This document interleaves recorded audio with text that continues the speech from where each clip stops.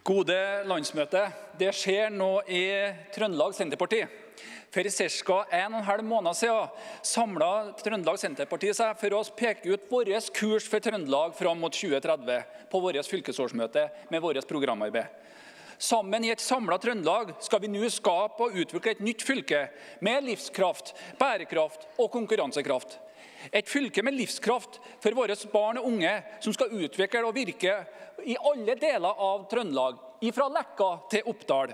Et fylke med bærekraft, som tar lederrollen i å høre hva ungdommen vil i omstillinga mot et lavutslippssamfunn i Trøndelag. Et Trøndelag med konkurransekraft for å skape verdier gjennom industriell produksjon, sånn at vi kan støtte opp under de komplette verdikjedene vi har innenfor jordbruk og skogbruk på en klimasmart måte. Der distriktspolitikken utvikler seg sammen med bedriftene.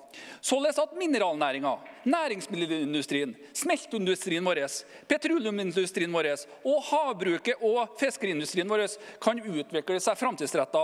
Således at henne blir en omstilling som gjør at vi får en konkurransefortrinn mot verden etter omstillinga hjulpet fram av våre desentraliserte videregående skoler og våre to universitet, med NTNU og Nord universitet i spissen, med sine campuser i Trøndelag fra Namsos til Trondheim, sammen med forskningsmiljøer som kan hjelpe bedrifter i å kommersialisere nye ideer og ny kunnskap til samfunnsliv og næringslivets beste.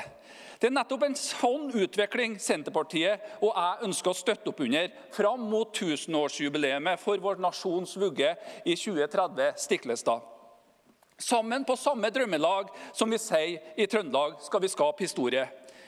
Det er altfor få trøndere i Norge i forhold til behovet, skrev Astrid Hermstad fra Spydeberg i Østfold på Twitter.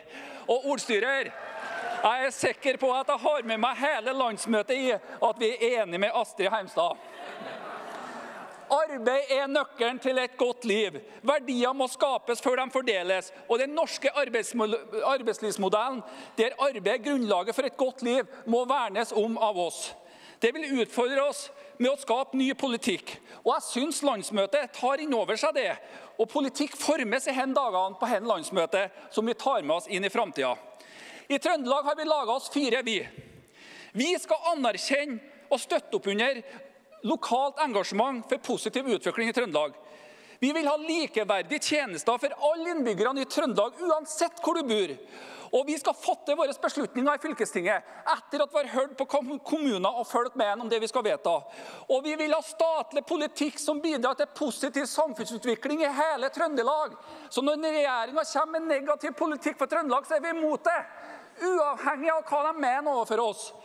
Og kjære landsmøte, det er hen politikken vi går til valg på, som et selvstendig grunnlag, og som vi ber velgerne i Trøndelag om å støtte opp under. Og Hvis vi alle sammen fram mot valget støtter opp hverandre og snakker om Senterpartiet, så håper jeg vi gjør et godt valg til høsten. Takk for meg.